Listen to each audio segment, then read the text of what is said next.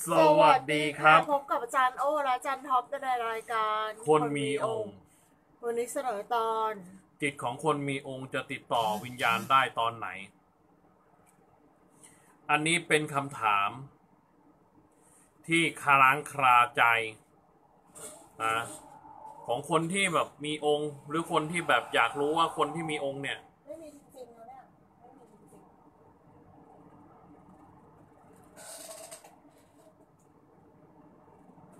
ก็ไม่รู้จะทำยังไงอะ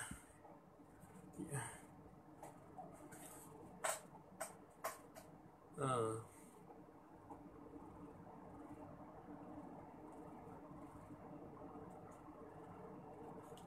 นะ อืม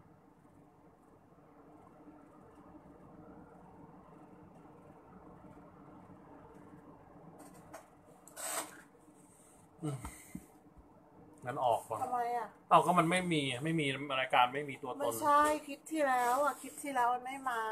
ผมแชร์มายังไง ไม่รู้ก็จะทำยังไงได้ ก็จะทำกันแล้วไม่ใช่เหรอก็พูดไปสิ เอออะอะก็ทำในตอนนี้ก็คือจิตของคนมีองค์อาจจะติดต่อวิญญาณได้ตอนไหน มีหลาย ๆ คน เคยมาถามผม ว่าคนมีองค์ก็เหมือนคนธรรมดาประเภทหนึ่ง ที่จิตเนี่ยคอยสื่อสารกับวิญญาณ แต่จะสื่อสารได้ขนาดไหนหรือไม่ได้นั่นน่ะ มันอยู่ตรงไหน คือถ้าร่างนั้นไม่ได้ฝึกจิต หรือคนนั้นไม่ได้ฝึกจิตเลยเนี่ย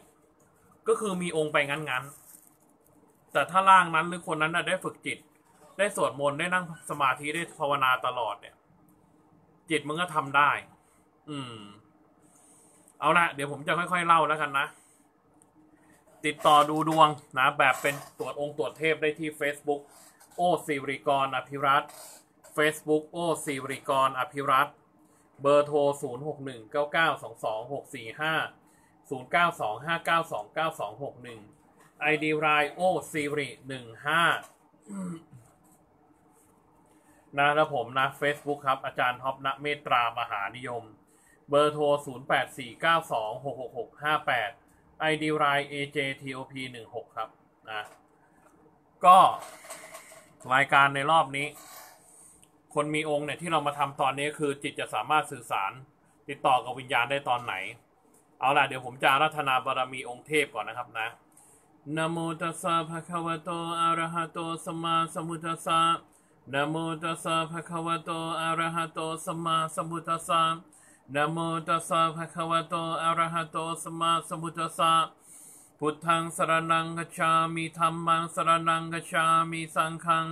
สรณังกัจฉามิ โอมพระพรหมาปฏิภาหายาทุติยมปีพระพรหมาปฏิภาหายาตาติยมปีพระพรหมาปฏิภาหายาอิติสุขโตอะระหังพุทโธนโมพุทธายาปัทวีคงคาพระพรหมหาเทวาขมามิหัง พระมาจิตังปิยังมามานชาริตินามาพาทานามาอาอุเมกามโอปิโยเทวมนุษสานังปิโยพระมานมุตมังปิโยนาคาสุปันนานังปินินทาริยังนามามิหัง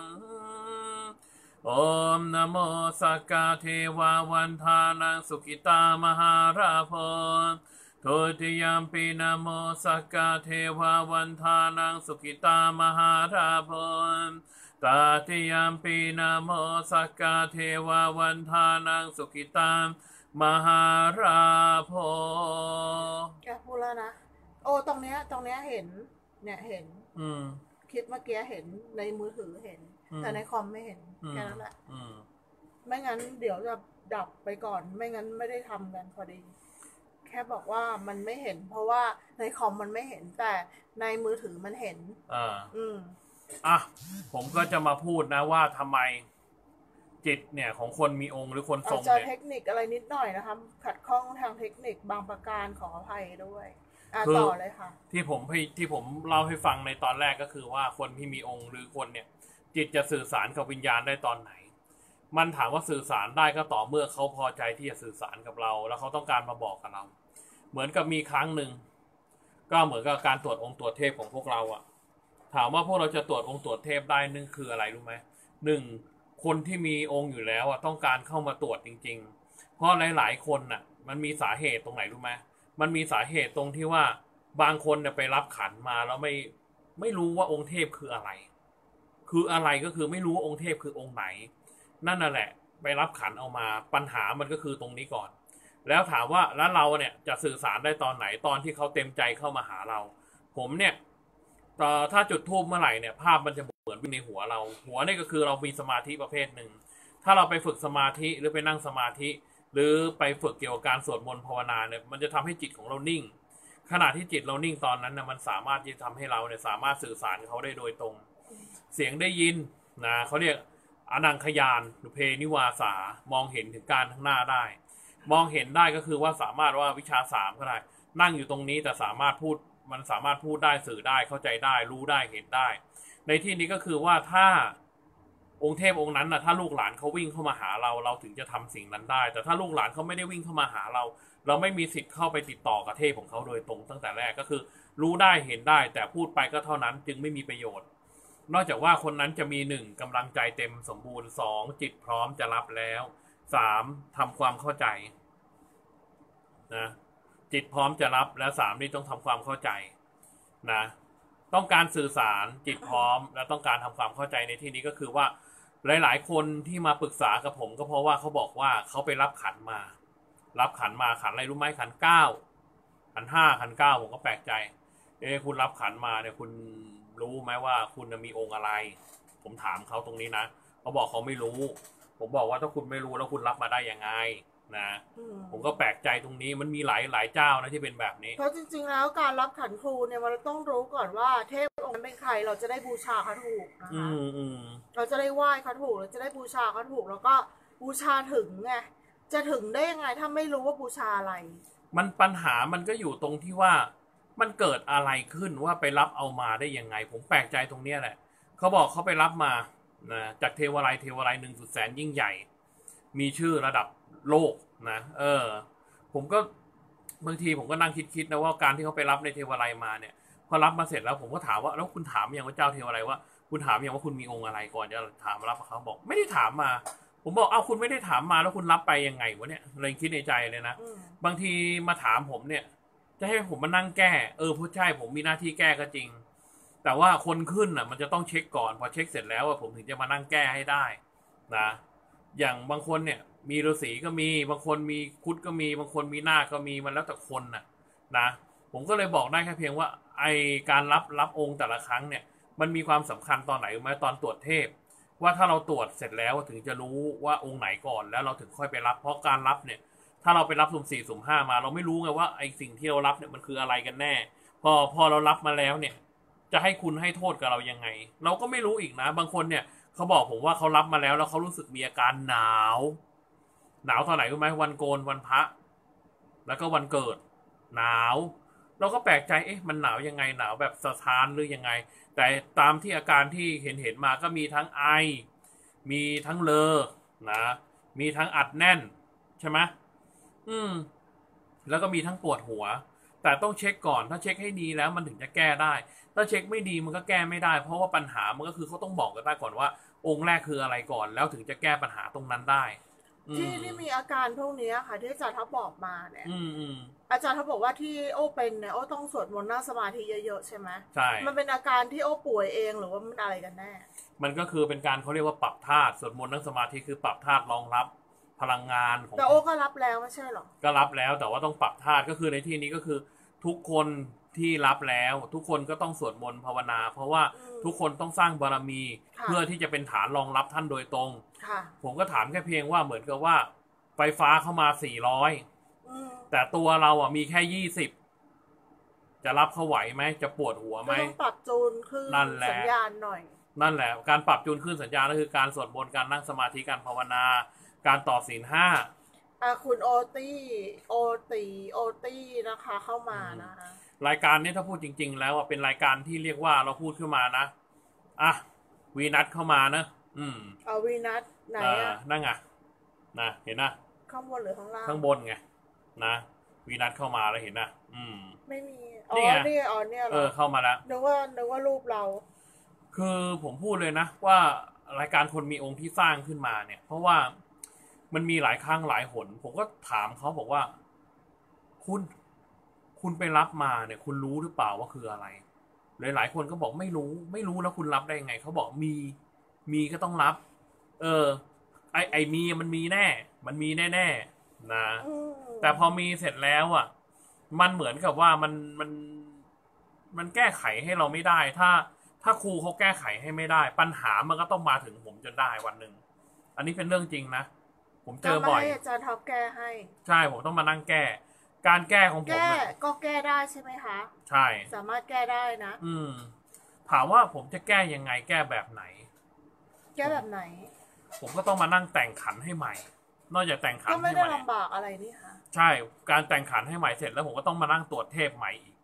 อันนี้เรื่องจริงนะก็ทำได้นะคะเออ มานั่งตรวจเทพให้ใหม่เสร็จแล้วก็แต่งขันใหม่ถามว่า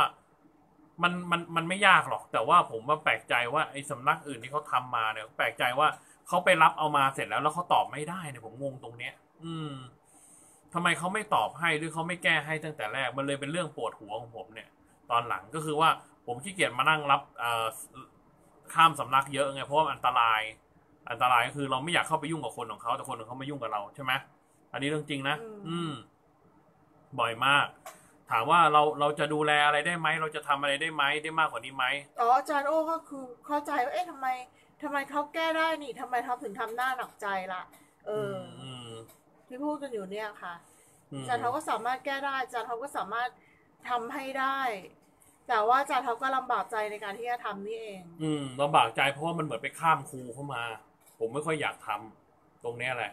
เหมือนเหมือนเหมือนเหเหมืมือนอนกับกับว่าถ้าเกิดครูเขารู้วันหนึ่งว่าเขาจะโกรธเราใช่ไหมใช่นะอืมผมถึงไม่อยากไม่อยากยุ่งเท่าไหร่ เรื่องราวเหล่านี้ แต่ว่าถ้ารู้แล้ว แล้วเราแนะให้เขาไปในทางที่ดีได้ก็ดี มันมีเยอะมันมีมีครูแบบรับรับไปแล้วแล้วก็ไม่สามารถไปทำอะไรได้เลยก็มี แต่ของเราอะเรารับไปแล้วเรามีตำราความรู้ มีเอ่อไพ่ยิปซีมีอะไรที่สามารถที่จะทำให้คนหมู่ใหญ่เนี่ยสามารถเอ่อรองรับแล้วก็นับถือได้ อันนี้ทำให้ได้จริง ๆ ตรงนี้นะ เพราะว่าเราค่ะเราเอาวิชาการเข้าว่าด้วยเพราะว่าถ้าเหมาะถ้าร่างทรงองค์เทพหรือคนที่มาทางนี้แล้วอะเราไม่ ไม่มีวิชาการไม่มีอะไรที่จะเข้าไปสื่อสารกับคนข้างนอกเนี่ย มันลำบากนะครับนะมันเหมือนกับเราไม่ได้เปิดหูเปิดตาโดยตรงอะไรเงี้ยทำนองเงี้ยใช่ไหมอืมอืมเออที่มาพูดตรงนี้ก็เพราะว่าท่านอาจารย์โอเนี่ยเห็นมาเยอะ เราอะเจอตรงที่ว่ามาเสร็จแล้วก็ดื้อดื้อตรงไหนรู้ไหมดื้อตรงที่ว่าไม่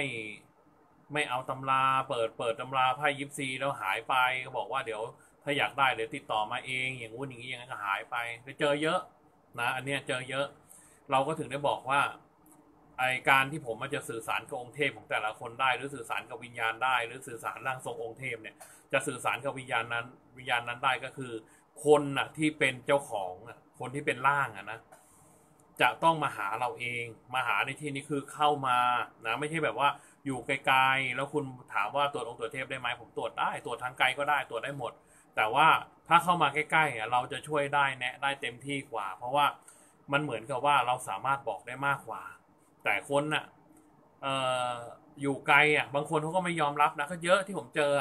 บางคนน่ะเข้าโรงพยาบาลไม่รู้กี่รอบแล้วเข้าโรงพยาบาลนี่คืออะไรรู้ไหมเจ็บหัวใจจืดๆเจ็บหัวใจยืดจืดๆอยู่งั้นอะ ส่วนใหญ่ก็เป็นร่างร่างพ่อแม่ใหญ่ๆนะก็จะเจ็บหัวใจจืดๆมันจะหัวใจมันจะสั่นๆสั่นๆๆ สั่นจนต้องเสียเงินไปนอนโรงพยาบาลไปทีก็สองสามคืน แล้วแต่วันก็เสียเงินเยอะ บางทีก็ต้องตรวจคลื่นหัวใจ มีเยอะครับ ผมเจอบ่อยมากนะ แต่ว่าคือจะยอมรับหรือไม่ยอมรับนั่นแหะอยู่ที่ตัวเขา ผมเองอะไม่สามารถไปบีบบังคับอะไรใครได้หรอกได้แต่บอกว่าถ้าคุณอยากให้ผมช่วยคุณก็เข้ามาหาผมใช่ไหมค่ะโดยมีท่านอาจารย์ โอ ผู้มีประสบการณ์ในการตรวจองค์มา มีประสบการณ์แต่ต้องฟังอาจารย์ท็อปพูดตลอดเลยค่ะเพราะอาจารย์ท็อปพูดอยู่คนเดียว อาจารย์โอเล่าสิเนี่ยตรวจตอนตรวจองค์ตัวองค์ตัวเทพอืมก็อาจารย์ท็อปเป็นคนตรวจไงคะอืมท่านอาจารย์โอเคยเห็นมาแล้ว ก็เคยเห็นอาจารย์ท็อปตรวจไงพระแม่อุมาลูกตา แล้วอาจารย์ท็อปก็ลงทรงด้วย อืม ตอนที่ตรวจให้เขาอะลงทรงครูของคนนั้นแหละ ร่างของคนนั้นแหละ ถามว่าเราเหี่ยใจไหมบางครั้ง มันเราเหี่ยใจเราเหี่ยใจตรงไหนรู้ไหมบางทีเขาก็ไม่ยอมรับ มาเสร็จเขาก็ไม่ยอมรับ มาเสร็จก็หาย คนรอบข้างเป็นห่วงเยอะไงมบอกว่าไม่ต้องรับขันหรอก เอออืมพอไม่ต้องรับเสร็จปรากฏว่าพอรับเสร็จแล้วอะยังยังกันเอาไว้แบบว่า เนี่ยไม่อยากรับขันเลยอ้าวเขาไม่ต้องรับหรอกเธอ ไม่ต้องไม่รับหรอกเธออ้าวก็ตัวเขาก็ไม่ไม่อยากรับอยู่แล้ว มีคนเชียร์ไม่ให้รับก็ไม่ต้องรับไปกันใหญ่เลย อืม อืม แล้วสุดท้ายปัญหามันก็เกิด อาจารย์ทำไมหนูทำงานมาเป็นตลอดทั้งชีวิตทำไมเงินหนูไม่เหลือทำไมมันมีกินมีใช้แค่พออยู่ แต่ทำไมลำบากเหลือเกิน รอโรงพยาบาลเป็นหมื่น เออ ทีหนึ่งอะเข้าโรงพยาบาลอะเพราะว่าอาการองค์มันจะลงอะ เสร็จแล้วถ้าเกิดมารับขันตั้งแต่แรกก็ไม่ต้องเสียเงินหมื่นเงินแสนนะคะเออ คือมันหลายครั้งอะ จนผมบางคือทีบอกบอกเข้าโรงพยาบาลทีก็บอกเราทีหนึ่งบอกจะไปรับกะรับขันกบอาจารย์ละเออแล้แล้ววก็ก็หาเรายก็ไปหายไปแล้วก็ไปรับแล้วก็ไปเข้าโรงพยาบาลอีกทีหนึ่งแล้วก็บอกว่า จะรับขันจะใหรับม่ขันใหม่ละอะแล้วก็หาแล้วยก็ไปหายไปเออออย่างเงี้ยพระออนพระทีก็เอามีอาการทีหนึ่งอะไรอย่างงี้ มีอาการทีก็อยากจะมาคุยไหมาไอ้นู่นไอ้นี่ ผมก็พูดว่าไงรู้ไหม อะเอาที่เธอสบายใจเลยแล้วกัน นะเราก็ไม่ค่อยจะยุ่งกับเขาเท่าไหร่ เออเออ ให้แบบอยู่ห่างๆนะคะอืมอยากจะมาส่อง อยากจะมากดไลค์อะไรก็ได้แล้ว ตามแต่สบายใจเลยตามสบาเออ แต่มีว่าเยอะแต่ว่าเราก็ทำใจมานานแล้วเรื่องพวกเนี้ยแล้วแล้วบางคนเนี่ย อืม อยู่บ้านตัวเองแท้ๆเลยนะอืมก็บอกว่าผีมาหลอกมบอกว่ากระทืบเท้าให้ตามให้มาสวดมนต์ให้ เออ บอกว่าเป็นผีที่บ้าน อืมแต่จริงๆแล้วเป็นไรคะอาจารย์กรุงเขาเทพเนี่ยแหละผมตรวจให้เขาไปตั้งนานแล้วแต่เขาไม่รับตรวจให้แล้วบอกว่าเนี่ยที่บ้านน่ะ เป็นพระแม่นะอืมเขามาทวงว่าอืมให้รับขันได้แล้ว เออก็ไม่เชื่อก็นึกว่าเป็นผีมาขอให้สวดมนต์อุทิศส่วนกุศลให้ เออแล้วจะมาตามให้สวดมนต์แผ่กุศลให้ทุกวัน เออวันไหนไม่สวดก็จะต้องมีกระทืบเท้า ไม่ใช่อะจริง ๆ มันลักษณะผมสังเกตดูหลายครั้งหลายหนมันก็ไม่ใช่ เรื่องเขาเราก็อะเข้าใจว่าเขาต้องสวดมนต์ให้ผีตนนี้ทุกวัน เพื่อที่เขาจะได้บุญและสร้างบุญ อืมเอาละติดต่อตรวจองค์ตรวจเทพได้ที่ Facebook โอสิริกรอภิรัตน์ Facebook โอสิริกรอภิรัตน์เบอร์โทร 0 6 1 9 9 2 2 6 4 5 0 9 2 5 9 2 9261 ID รายโอสิริ15 และผมครับ Facebook ครับ อาจารย์ท็อปนะเมตตามหานิยมเบอร์โทร 0 8 4 9 2 6 6 6 5 8 ID ราย AJTOP 16เอาละวันนี้ชื่อตอนอะไรนะ เราจะสื่อสารกับวิญญาณได้เมื่อไหร่ ได้ตอนไหนด้วย จริง ๆ แล้วอะ ผมจะสื่อสารได้ก็ต่อเมื่อ ไอคนนั้นน่ะ มันมาหาผมก็คือว่าคนที่มาติดต่อแหละ คือถ้าคุณต้องการให้ผมเจอเทพของคุณเพื่อมาสื่อสารกันอะ ผมก็ทำได้ แต่ว่า เอ่อสื่อวิญญาณ สื่อวิญญาณเนี่ย แต่มันเหมือนกับว่า ถ้าตัวเขาเต็มใจให้เราไปสื่ออะ เราก็สื่อได้ แต่ถ้าเขาไม่ได้เต็มใจอะเราก็ไม่พูดซะดีกว่า บางทีเนี่ย วิญญาณของของเทพเขาเนี่ย อยากจะมาคุยกับเราอย่างเงี้ยเพื่อมาให้คุยเพื่อมาทำความเข้าใจตรงกับเขาแต่เขาก็ไม่เอาก็มีเยอะแยะ ผมก็ชินนะ บางทีเนี่ย เรื่องราวเหล่านี้มันลำบากใจที่จะช่วยนะดูปาก มันลำบากใจที่จะช่วย รู้ไหมเพราะอะไร เพราะคนมันเด้อนะพอคนมันดื้อเสร็จอะมันก็ต้องเข้าโรงพยาบาลนะ เพื่อเป็นการสั่งสอนมันเรื่องปกติ มันมีหลายครั้งหลายหนที่เราเข้าใจเรื่องราวเหล่านี้ ถึงเราจะพูดไป แต่ถ้าคนนั้นไม่ได้เต็มใจที่จะยอมรับ เราก็ช่วยไม่ได้ แต่ถ้าคนนั้น เต็มใจและอยากให้เราช่วย แล้วให้เราช่วยดีๆ เราก็สามารถทำได้ อืมช่วยเราได้ยังไงคะมันก็จะสงบลงไปเยอะอะแล้วแล้วคนนั้นก็จะไม่มีปัญหาเกี่ยวกับวิญญาณเรื่องอะไรต่อไป อืมอืมอะ ไหนดูซิ ว่าไง ค่าครูเท่าไหร่จ้าดวงเทพ ไปดูด้านหลังครับ มาใน inbox เพจนี้ได้เลยไปะอาจารย์โอ ก็ให้ ID ไลน์ไว้แล้วนะคะ ให้ทุกอย่างไว้หมดแล้วครับ มามาใน inbox ได้เลย ไปแล้วครับ